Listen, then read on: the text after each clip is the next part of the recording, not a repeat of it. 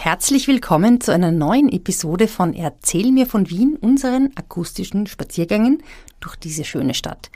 In dieser Staffel entdecken wir eine neue Seite von Wien, die andere Seite, wenn man von der ersten Bezirksseite ausgeht, aber auch die nicht andere Seite, wenn man aus hm, Transdanubien kommt, sage ich jetzt mal.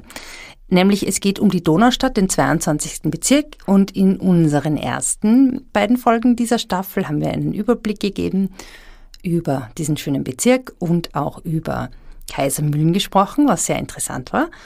Und bevor es losgeht mit ähm, unseren Geschichten über Stadtlau, möchte ich mich nochmal ganz herzlich bedanken für eure netten Zuschriften, unter anderem wieder aus der ganzen Welt, aus den USA, aus Japan, aus Österreich. Und ja, es ist immer sehr schön von euch zu lesen. Folgt uns auf Instagram und auf Facebook und wir freuen uns, ja, mit euch in Kontakt zu bleiben. Mm, genau, also ich sage jetzt einfach mal Servus Fritzi. Servus Edith. Erzähl mir von Wien. Gerne. Erzähl mir von Wien. Geschichte und Geschichten präsentiert von Edith Michaela und Fritzi Kraus. Liebe Fritzi, auf unserem Weg durch den 22. Bezirk gehen wir jetzt von Kaisermühlen nach Stadtlau. Und das ist ein anderer Bezirksteil. Und jetzt fang mal an, davon zu erzählen, bitteschön. Von Stadtlau? Ja, von der Blume aus dem Gemeindebau. Von der kann ich ja nichts erzählen, weil wir beide in keinem Gemeindebau wohnen. Ähm, leider. Ja. Wäre sicher nett. Äh, ja, Stadtlau ist der kleinste Teil dieser acht Ortschaften, mhm. aus denen äh, die Donaustadt, also der 22. Bezirk, äh, besteht. Mhm. Aber auch sehr alt. Mhm. 1150 weiß man schon, dass er äh, im Besitz von Heinrich Jasomirgott war. Dem Babenberger. Dem Babenberger. Äh, mhm. Der, äh, der Name eigentlich ist Stadelowe. Das mhm. bezieht sich, äh, das ist ein Stadel. Mhm. Äh, Im Bezirkswappen ist ja Stadtlau auch bezeichnet mit einem Stadel mit zwei Fähnerchen und einen Stadel gibt es auch noch. Ich habe einen, einen Gitarrenlehrer gehabt, der hat Stadelober geheißen. Stadelober, es gibt da glaube ich einen Skispringer oder ja, heißt der ja. Stadelober. Na egal.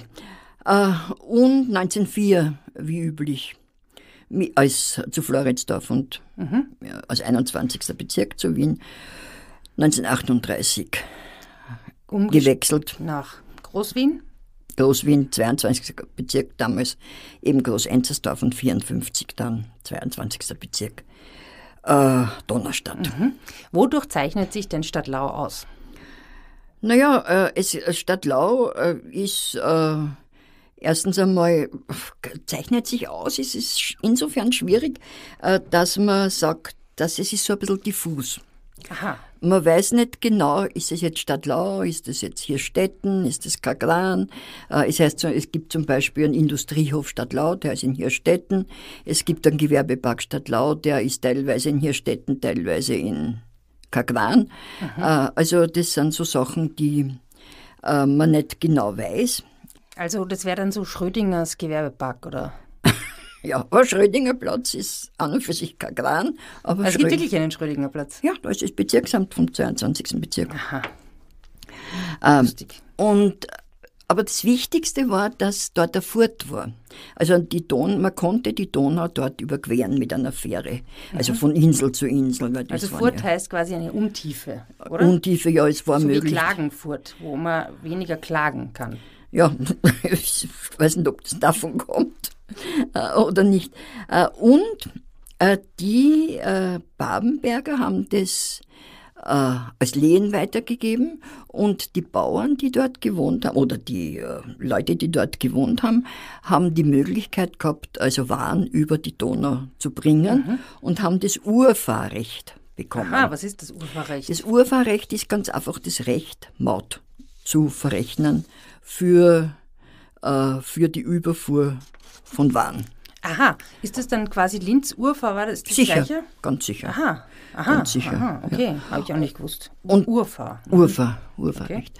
Okay. Äh, und das hat natürlich die Leute dort relativ recht gemacht, mhm. weil Machfeld ist schon immer was angebaut worden und die haben die Waren mhm. äh, hineinbringen müssen, also über Erdberg dann äh, nach Wien. Okay, also das wie und wie also war das groß oder war Nein, da das ist äh, 1820 zum Beispiel haben 15 bis 20 Häuser. Äh, und zwar für die, die in Stadtlau wohnen, sage ich das, alle anderen werden keine Ahnung haben, wovon ich rede, äh, war das in der Schickgasse zwischen Stadtlauer Straßen und Konstantiagassen. Also es war eine kleine, heute eine kleine ein, ein kleines ein Stück. Straßenzug Ein eigentlich, oder? Straßen, ja, war auch ein Straßendorf. Ne? Ah, okay. Äh, und ähm, die äh, war in der Nähe war nur ein Nebenarm der Donau. Durch die Donauregulierung äh, ist, sind diese Nebenarme teilweise versandet. In den Teilweise, 1870er Jahren? Genau, teilweise äh, zu stehenden Gewässern worden. Eines dieser stehenden Gewässer ist eben zum Beispiel das Mühlwasser. Ah, das kenne ich. Das ist sehr schön zum Baden auch. Sehr schön und ein, eben, das ist, glaube ich, das bekannteste, bekannteste. Und das ist in Stadtlau. Also das. Und was wichtig ist, äh, dass äh, äh, die Ostbahn dort 1870 äh, einen Bahnhof eröffnet hat. Und dadurch, ein Bahnhof bedeutet, man kann, man kann Güter Auf- und abladen. transportieren und dadurch hat sich eine Industrie entwickelt. Darf ich ganz kurz fragen, die Ostbahn, das war das, was die Rothschilds äh, gebaut haben? Na, die Rothschilds haben die Nordbahn gebaut. Ah, okay, die Ostbahn nicht. Nein, also weiß ich nicht, kann ich da nicht sagen. Mögliches Finger werden es vielleicht schon dabei gehabt haben. Hat dort der Kurt Ostbahn auch gewohnt? Oder kommt der Name davon her? Na, weil ich glaube, das waren ja Simmeringer, nicht? Sind die Ost, das sind die Resetaritz Ja, ursprünglich aus dem Burgenland, aber aus dem Burgenland. Ja. oder Favoriten, ja. Na, Favoriten, ne, nicht Simmering, Favoriten. Äh, und, aber das Lustige ist, also ich meine, er ist nicht stehen geblieben, aber der Orient Express ist dort vorbeigefahren. Der, der ist Wow. auf seiner, von seiner, auf seiner Reise von Wien nach Pressburg oder Budapest, ist dort Oder- auf diese, äh, er hat aber keine Station Wien Stadtlau gehabt. Das wäre natürlich super. Mord in Stadtlau. Mord im Orient Express. Mord. Der ja eigentlich von Paris nach Istanbul, nach Konstantinopel ging, oder? Ja. Äh, ja, äh, nein, da hat es, glaube ich, verschiedene gegeben, aber das war schon der Original, ist der, der, Cool. der alte. Ja, weil der Orient Express mit diesem Namen, der ist ja eigentlich relativ lang nach Paris gefahren. Er ist nicht mehr wirklich, also von Wien weg. Ja, ja, ja. Ja, ja. Mit dem bin ich sogar manchmal gefahren, wenn ich nach Paris gefahren bin. Bitte, schau wie nobel. Ja, nur es war halt ein ganz normaler Schlafwagen, der aber super gut funktioniert hat zu der Zeit noch. Das ist ja schon wichtig. Ja. Und äh, dieser Bahnhof, den, den hat man aber 2010 äh, geschlossen. Gibt es aber noch, das Gebäude steht ganz sicher unter Denkmalschutz. Dahinter ist äh, teilweise verrottet, sind noch Stellwerke und so weiter und so weiter. Es ist ganz interessant. Äh, und ähm, es gibt jetzt einen neuen Bahnhof daneben Ja. den, für die U2 und für Regionalzüge, weil die U2 ja eigentlich komplett durch Stadtlau Ah, fährt. wirklich? Bis nach Seestadt. Ist das aus Seestadt auch so? Na, oder? Seestadt ist Aspern. Na, aber sie ist ja nicht, sie fährt ja in Zenten und das ist nicht Stadtlau. Aber, aber war Donnerstadtbrücke und, Ah, äh, äh, und Hadeckgassen und Stadtlau eben. So, und du hast erst von den Waren gesprochen. Welche Waren sind, werden dann noch werden dann, oder welche Waren wurden da transportiert von Stadtlau nach? Ja, die die Industrie äh, gebraucht hat. Schau, es war, es war zum Beispiel, äh, das ist zwar hier Städten, aber es heißt Industriehof Stadtlau interessanterweise. Da war die AEG, äh, die Elin war dort. Äh, dann war die Stadtlauer Malzfabrik. Die, oder war, die gibt's noch immer, die Stadtlauer Malzfabrik. Äh, die ähm, äh, in der Smollergassen, Smolikgassen, Smollergassen, Smollergassen, ähm, war der, die eben Grund, Grundmittel zur Erzeugung von Backwaren Aha. äh, Also Hefe fabrizieren. Ja, Malz, Malz. nachdem es Malzfabrik äh, heißt. Und äh, Malz ist vergorenes Getreide, oder? ja, das sind so kleine braune Kernel. Malz, Ich denke immer an einen Zuckerl. Malzkaffee. Ich Malzzuckerl, Blockmalz. Blockmalz, ja. Na ja, sicher, das ist. Äh, und das sind diese, Indus diese typischen Ziegel, äh, äh, Rohziegelbauten, Ah, ja. ne? äh, die man kennt. Die gibt es dort in relativ äh, großem Ausmaß. Was verkehrsmäßig noch zu erwähnen ist, äh, dass bei der Donaustadtbrücke Wasserski Lift Ja, ist. das stimmt. Das ist sehr lustig dazu zu schauen. Das ist so wie ein Schlepplift, schaut das ein bisschen aus. Ist, ja. Äh, und da steigst du in Stadtlau ein, fährst die erste Kurve in Stadtlau, die zweite und die dritte bist in Kaisermühlen und die vierte bist wieder äh, in Also Stadtlau. ich kann nur aus eigener Erfahrung sagen, wenn man die erste Kurve kratzt. kann ich mir auch vorstellen. Also es ist nicht so einfach, wie es ausschaut, dieses Wasserskifahren. Eben mit diesen Kurven, ziemlich, das ist Kaliachalschaus. Ich, ich kann dir das aus eigener Erfahrung sagen, dass ich mir bald den, das Bein abgetrennt hätte. Wirklich, beim Wasserskifahren. Naja, nicht einmal beim Skifahren, sondern beim Wegkommen. Ah. Aber sportlich ist ja, naja, nein, Mann, das ist jetzt über, äh, Naja, übertrieben. Ja, ich kenne jemanden, dem fast der Arm abgebunden worden ist bei diesem Paragleiten mit auf dem Boot. naja, aber das ist ja Gott sei Dank dort, dort gleich das Krankenhaus.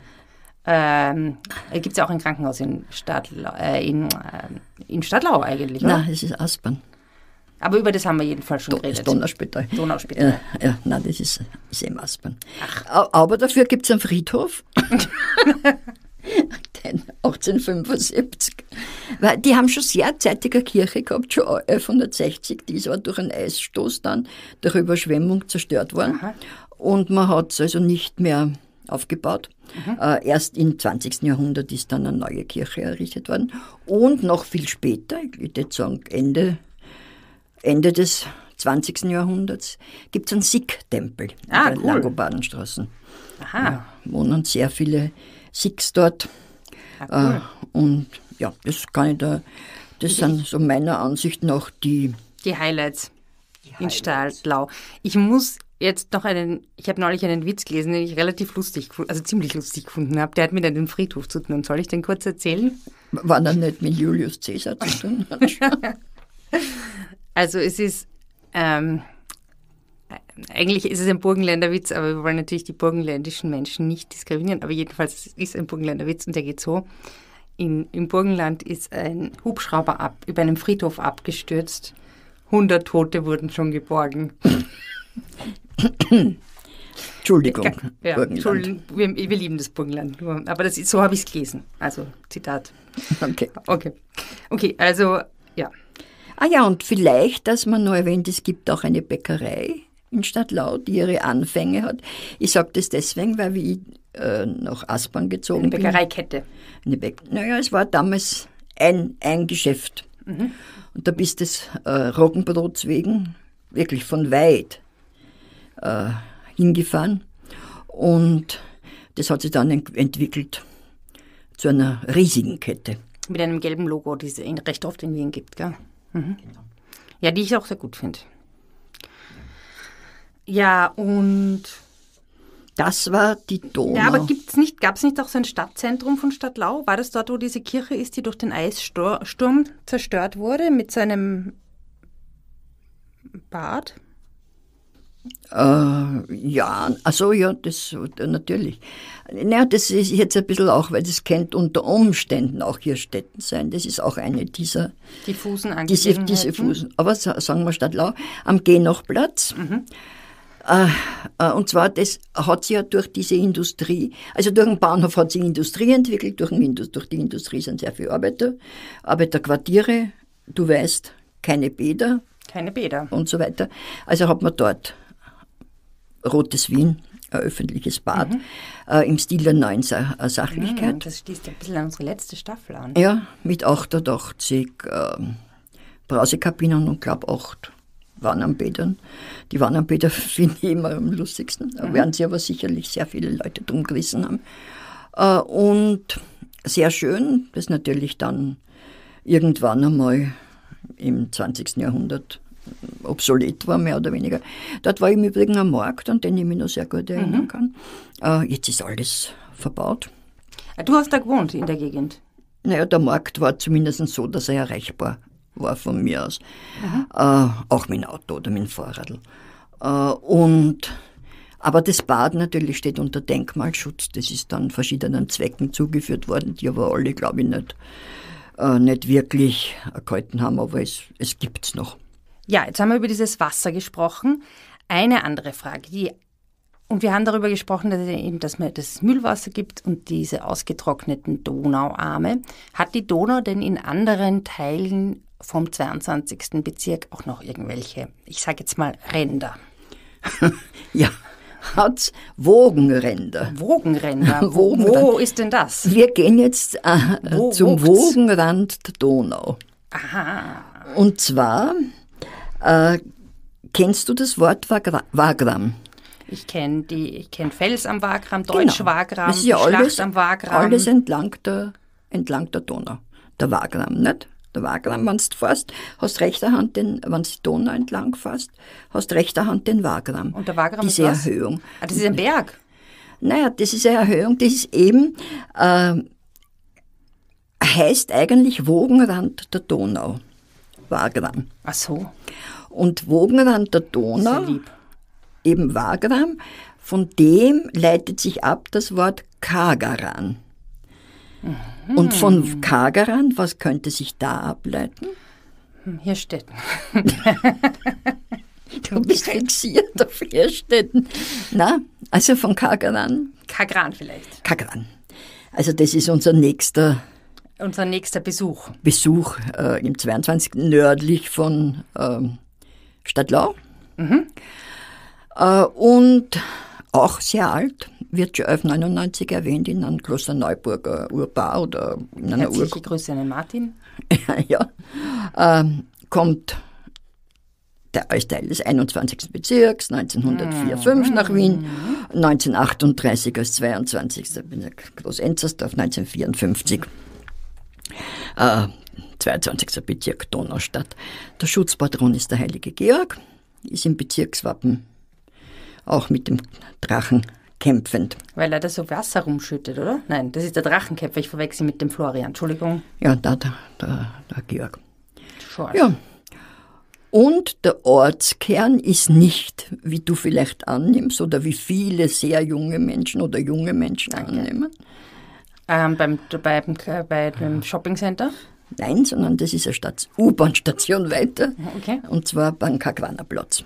Und was ist auf diesem Kagwana-Platz, wo ich noch nie war bis jetzt? Entschuldigung. Der Kagwana-Platz ist also, wenn du Wagramer Straßen rausfährst, rechter Hand, rechter, rechter Hand ist eben der Kagwana-Platz, das ist so ein Dorfanger, ah, ja. den du noch sehr gut äh, mhm. erkennst. Ah, da bin ich doch schon mal vorbeigefahren, ich weiß, was du meinst. Ja, ja, ja.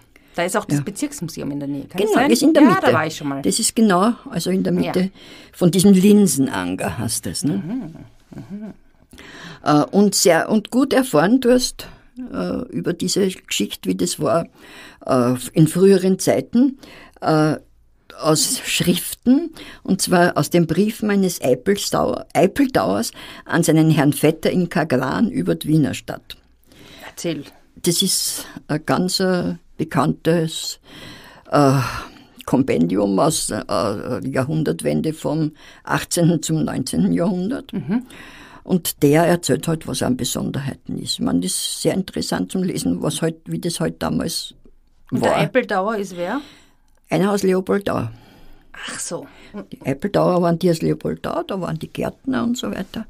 Und äh, der schreibt eben dem Vetter in Kakaran. Das ist ja super. Kakaran die Vorstellung ist schon irgendwie cool, dass man einen Brief geschrieben hat von Leopoldau, das ja nicht wahnsinnig weit weg ist, mhm. nach Kagran. Finde ich sweet. Naja, ich nehme an, das war halt die Buchform. Ob er die wirklich geschrieben hat. Ja, also ich finde erstaunlich, dass man überhaupt Briefe geschrieben hat. Das ist, stimmt. Und dass der, der Vetter und der Eipeldauer lesen und schreiben können. Ja. Vielleicht waren sie nach Maria Theresia und waren schon in der Schule gewesen. Ja, Genau, also Vermutlich. das ist ja alles. Okay, und woraus hat sich ähm, Kagran gebildet, dieses Dorf? War da schon immer eine Siedlung zum Beispiel? Ja, da ist äh, äh, immer äh, eine sehr alte Siedlung äh, und ist eigentlich sehr ähm, wichtig, weil er Dampftramway schon rausgeführt hat, äh, schon 1886. Also mhm. das ist, äh, ist schon erschlossen von der Augartenbrücke weg. Wirklich? Ja. Das ist, ist nice. Ist eben ein Dampftramway. Also das ist der Vorläufer der U1? Ja. In irgendeiner Weise? Das, naja, die ist, die ist über Floridsdorf gekommen. Mhm. Äh, Augartenbrücke, Floridsdorf, Kaglan und Großenzersdorf. könntest heute 25er, 26er, die Straßenbahnlinien eventuell. Und dann im Roten Wien hat man Siedlungen, über die man ja gehört hat, baut die Freihofsiedlung, äh, die rechter Hand von, vom Kagranerplatz ist, äh, gebaut. Die war auf dem Grund von einem Freihof. Was ist ein Freihof nochmal? Ein Freihof ist, äh, da, hat, äh, da ist der Besitzer dem Grundherrn nicht steuer- und nicht dienstpflichtig. Also der hat keinen Robot leisten müssen und hat. Äh, also hat das Freihausviertel in Wien auch was damit zu tun? Ja, ja, da war steuerbefreit. Und hat keine, in Wien hat er keine Einquartierungen machen müssen von also Militär nicht einquartieren mhm. müssen. Und da haben wir eben äh, im Roten Wien Siedlungshäuser gebaut. Mhm. Äh, hat die aber so gebaut, dass man sie unter Umständen auch selbst versorgen kann. Das ist ja super cool. War ein Stall drinnen zum Beispiel in den Häusern. Also wahrscheinlich ein kleiner Stall für Ziegen oder ja, sowas. Oder Hühner. Äh, genau. Und immer ein kleines Gärtchen, aber das war ja immer bei den Siedlungshäusern. Das ist super cool. Zum Gemüse anbauen. Mhm. Dann gibt es am Ende von dem Kagraner Platz hat das Restaurant Napoleon gegeben lang, also bis. Ja, da war ja Napoleon, da waren ja auch so Schlachten rundherum, oder? Ja, ja sicher, aber bis so in die zwei, um 2000 oder später. Und jetzt ist es ein Biergarten mhm. vom Querfeld. Und war das ein gutes Restaurant? Teils, teils. Es war so ein Restaurant, wo du, wenn du im 22. oder in Hirstetten gewohnt hast, bist hingegangen. Äh, zu Geburtstagsfeiern oder mhm. Hochzeiten oder so. So ein wirklich ein typisches Veranstaltungsrestaurant. Mhm. Das, ähm, ja. Das war. Das war, aber das Lokal gibt schon noch, aber nicht mehr, mehr als Napoleon. Beziehungsweise es heißt schon noch Napoleon, aber, der, aber jetzt angeblich noch ein Hund. Den's da, noch ein Familienhund. Okay. Oh, ich hoffe, dass das keine, ähm, äh, keine Anspielungen auf den Napoleon sind. Ja. Und dann haben wir aber in den, im 20. Jahrhundert, so in 70er, 80er Jahren, eben Hochhäuser gebaut und Siedlungen hinaus entlang der Wagramer Straßen. Mhm. Denk an die Trabrenngründe, war die Rennbahnweg. Mhm. Das war ja so ein Synonym für für Schrecklichkeit äh, äh, an und für sich, aber so wie bei der Großverzählung, was aber nicht ist. Ich bin unlängst vorbei, also durchgefahren. Das ist sehr grün und, und mhm. viele Geschäfte und so. Ich meine, ich kann keine Ahnung, wie es ist zum Wohnen, aber. Wo ist die Großfeldsiedlung? Die ist ja auch dort irgendwo, oder? Naja, die ist aber linker Hand, die ist Floridsdorf. Also Ach so. Die hat, Ach so. Ja. Und beim Kagranerplatz gibt es die Pfarrerkirche, mhm. die dem heiligen Georg natürlich gewidmet mhm. ist, klarerweise, die sehr alt ist. Äh, ich glaube sogar aus der Gotik ist der Chor. Da hat es immer einen Markt gegeben äh, davor. Und ähm, daneben gibt es Café Falk, das jedem Kagraner Begriff ist. Was hat die jetzt ausgezeichnet? Ja, die gibt es erstens einmal schon seit den späten 20er Jahren. Mhm. Wurde dort Falk geraucht? Na, das glaube ich nicht. Die haben Falk geheißen. Ich glaube sogar die jetzige Besitzerin heißt noch immer Falk. Mhm. Äh, und ich glaube, die haben bis um vier in der Früh oder so offen gehabt, was jetzt sicher nicht mehr, mehr ist. Mhm. Aber das Café Falk ist in Kagran. Eine Institution. Einfach. Institution. Wie das Hummel im Achten, sowas. Ja, so mhm. auf dort. Uh, und uh, den Nöbauer gibt es. Ja, die Konditorei. Die Konditorei, mhm. der auf der Donnerfelder Straße ums Eck und links, links ums Eck die Fabrik hat. Also der und 22. ist schon irgendwie ein süßer Bezirk. Mit den Backwaren und den Bäckereien. Ja, naja, vielleicht habe ich das ausgesucht. Vielleicht. Und dann natürlich deine äh, und aller Jungen. Äh, Danke. Zentrum. Das Donauzentrum. Das Donauzentrum, in dem ich nur einmal war. In dem du nur einmal, ja, es ist Aber leider. Kino gibt es auch dort. Auf der anderen Seite von der mhm. Gibt es das Cineplex und dort, wo auch die Jungen abhängen. Mhm. Ja. Aber das ist, ich glaube, das habe ich eh schon mal erzählt, aber das möchte ich nochmal erwähnen, weil ich es echt toll finde. Im Donauzentrum gibt es ähm, kostenlose Periodenprodukte für Frauen. Da weiß, man, das hast du erzählt. Ja, das finde ich, das kann man einfach nicht oft genug erzählen, weil ich das echt super finde. Ja, naja, hat irgendwer den, die Idee gehabt und hat. Äh, genau. Also das auf der Damenklos angeschrieben und das finde ich wirklich wichtig und gut, dass es das gibt. Ja, und eben wie auf der anderen Seite ist das Cineplex und hinter diesem Cineplex, also noch zuerst vor. Vorher ist ähm, auf der Seite vom Einkaufszentrum ist das Stadion, das Eishockeystadion. Ah ja, stimmt, genau. Von den Vienna Capitals, glaube ich, heißen die. Stimmt. Keine Ahnung gesagt. Aber ich glaube schon. Ah ja, stimmt. äh, Diese, ist es diese Schulzhalle? Ja, heißt es nicht mehr, mehr, jetzt heißt es Spuso. Was ist Spusu? Spuso ist so ein Telefonanbieter. Ach so. Also Dings. Ah, Und auf der hat aber Kassen, Albert Schulzhalle. Und hinterm äh, Cineplex Mhm. sind die Schulgärten. ja, die kenne ich. Die Schulgärten Kagran. Mhm. Weißt du auch, wo, du weißt ja sicher auch, wozu die dort sind. Zum Lernen, wie man halt Gärtnerin oder Gärtner wird. Genau, die sind echt für die Berufsschulen. Da ist auch, da ist auch die Berufsschule, ich glaube, für Schlosser oder sowas, ist dort auch, in, da bin ich mal vorbeigegangen, weil da war ich mal bei, einer, bei einem Arzt in der Gegend und ähm, ja, da sind einige Berufsschulen. Also wenn man aus der U-Bahn aussteigt, kommt man da vorbei. Muss ich aber verifizieren, aber ich glaube, so Schlosser oder so sind da. Oder Und die. International, eine International School ist äh, in der relativen Mhm. Gehört Nähe. alles, diese Gründe gehören auch zu Stift Klosterneuburg übrigens. Dann weiter raus, wo die Na ja. Familienhäuser stehen. Richtung Kloster. Neuburg, größter Grund bis kirchlicher Genau. Grundbesitzer Wiens. Ja, aber die Schule ist natürlich toll. Ja, War die immer schon dort? die Schule ist, na, immer wird es nicht dort gewesen sein, aber es, sie hat früher eine andere, äh, einen anderen Zweck gehabt, die, der, der Garten.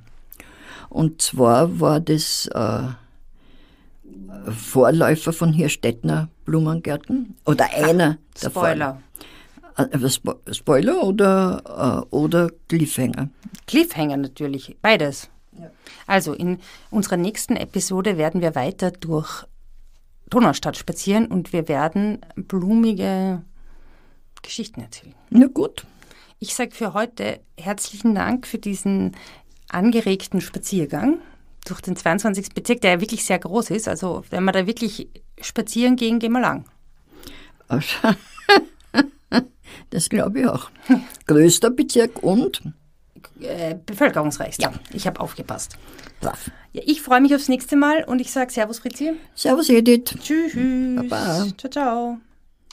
Spazieren Sie mit uns auch online auf den gängigen Social Media Plattformen und www.erzählmirvon.wien.